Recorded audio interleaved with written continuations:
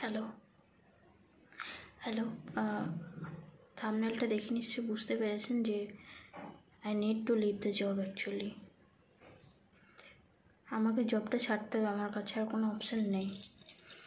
So today I am giving the notice to our company that I have to resign কেন কি আমার বাড়িতে আমি, আমার হাজব্যান্ড আমার বাচ্চা থাকি।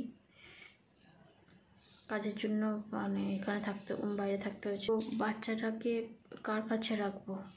বাচ্চাটাকে ও পাঁচ বছরও বয়স হয়নি এখনও চার প্লাস চলছে। এতদিন অনেক কষ্ট করে আমার মা তো মানে আড়াই বছর, তিন বছর তিন বছর অবধি টানা মানে থেকে যতটা সম্ভব করে দিয়েছে এবং বলেছিল যে কোনো হঠাৎ কোনো বিপদ আপদ হলো ধর, থাকতেই হবে। যে অপশান নেই অফিস গিয়ে থাকতে হবে অনেকক্ষণ। বলবি, চলে আসব দুদিন আগে, এরকম বলে দিস। তো এই সেদিনও করলাম। মা এসে ছেলেটাকে দেখাশোনা করল, অফিস গেলাম। বাট এই নেক্সট উইক থেকে বা নেক্সট মান্থ থেকে শুনছি ওয়ার্ক ফ্রম অফিসটা রেগুলার হবে এবং অফিসের ফুল টাইম থাকতে হবে। মানে টেন আওয়ার্স যদি আমার শিফট হয়, আমাকে টেন আওয়ার্সই শিফট কন্টিনিউ করতে হবে ইন অফিস তো সেই ক্ষেত্রে আমার আমার ছেলেকে আমি অন্য কারও কাছে তো রাখতে পারব না। অন্য কেউ তো নেই। এবার ওকে দেখাশোনার জন্য একজন একজনকে, একজন ছিলেন, তো উনি যে টাকাটা দিচ্ছেন, চাই মানে ডিমান্ড করেছেন, হয়তো উনি ঠিকই, বাট এতটা দেওয়ার আমার আমি ক্যাপেবল নই। তো সেক্ষেত্রে আমার কাছে আর কোনো অপশান নেই।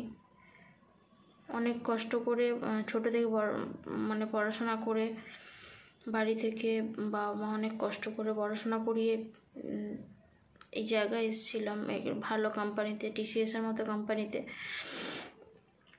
কাজটা পেয়েছিলাম এবং এটা আমার লাইফে ফার্স্ট জব ছিল। আর আমি কাজটাকে খুব ভালোবাসতাম বাট আমার কাছে আর কোনো উপায় নেই। আমার ছেলেটাকে তো আমার সন্তান, ওর তো দায়িত্ব সম্পূর্ণ আমার, আমাকেই নিতে হবে, তাই না? আমরা দুজন মিলে অ্যাডজাস্ট করে অনেক দিন চালালাম এভাবে। যখন আরটিও শুরু হলো মানে ওয়ার্ক ফ্রম অফিস চালু হলো, সপ্তাহে তিন দিন ধরে যেটা হলো একজন ভদ্রমহিলা ছিলেন মানে উনি ভালোই ছিলেন তো টাকা দিয়ে তিন চার ঘণ্টা উনি থাকতেন। তো তার মধ্যে আমার হাজব্যান্ড ফিরে আসতো, উনি চলে যেতেন। আমি থাকতাম। তার তার আগে আমি থাকতাম।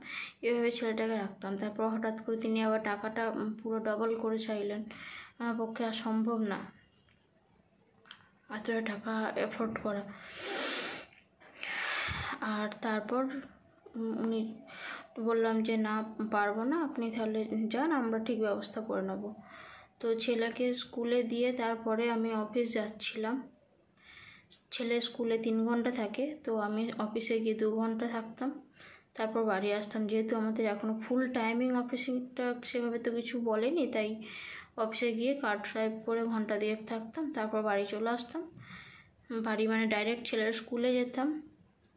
ওকে বাড়ি নিয়ে এসে তারপর আমি আবার আমার শিফট টাইমিং যা আছে সে অনুযায়ী কাজ করতাম। মানে ডেলি প্রায় তিন ঘণ্টা এক্সট্রা কাজ করতাম যাতে আমার ছেলে, ছেলেটাকেও ঠিকভাবে বাড়িতে রাখতে পারি এবং জবটাকেও মানে ব্যালেন্স করে মানে ফ্যামিলির সাথে ব্যালেন্স করে যাতে জবটাকেও টিকিয়ে রাখতে পারি, তার জন্য এটা করেছিলাম। বাট এখন যে আপডেটটা এসছে, আর তো সম্ভব হচ্ছে না। কারণ নেক্সট মান্থ থেকে এটা এসছে যে ফুল টাইম অফিসেই থাকতে হবে। তাহলে আমার ছেলেটাকে তো আমি দেখতে পারব না। তাই তাই না?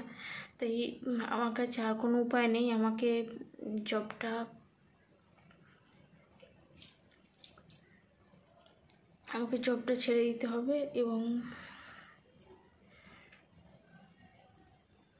জানি না কি হবে।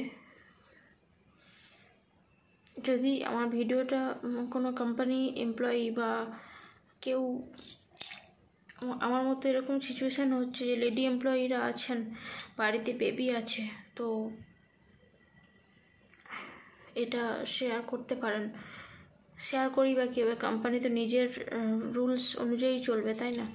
তো যদি কোনোভাবে এটা ব্যাপারটাকে একটু মানে অ্যাডজাস্ট করানো যায় আর কি, তাহলে হয়তো জবটা জবটা রাখতে পারি। দেখা যাক কী হয়। আমি অনেক দিন ধরে চেষ্টা করলাম, কিন্তু যেহেতু ফুল শিফট অফিস চালু হয়ে যাচ্ছে, বাচ্চাটাকে দেখার কেউ নেই, তাই আমাকে জবটা রিজাইন করতেই হবে। আর কিছু বলতে পারছি না। ভীষণ মন খারাপ, আর কিছু বলতে পারছি না।